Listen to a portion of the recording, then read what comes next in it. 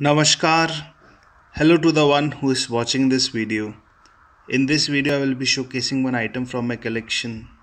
So let's start. This is a 20th century bronze coin which was struck one year before the World War II began.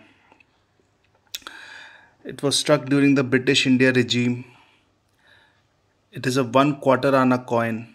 The year is 1938 as you can see the denomination the name of the country the year is engulfed by a circle of beads which in turn is surrounded by a wreath.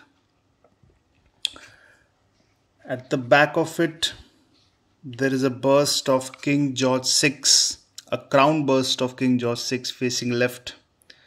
He was one of the great grandchildren of queen victoria.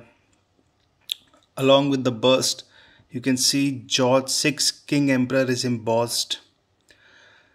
The engraver of this coin is Mr. Percy Metcalfe. That's it for this video. Thank you for watching it.